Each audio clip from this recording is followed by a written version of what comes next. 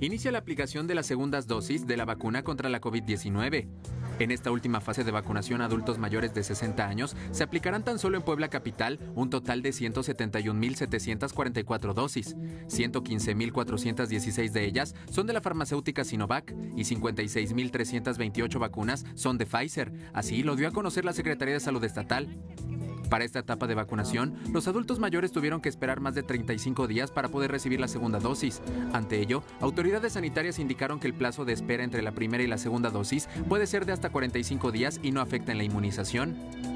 Por otra parte, la dependencia puntualizó que es importante que para este proceso los adultos mayores reciban la segunda dosis de la misma farmacéutica que les aplicaron en el primer proceso. Emanuel Arroyo, Azteca Noticias.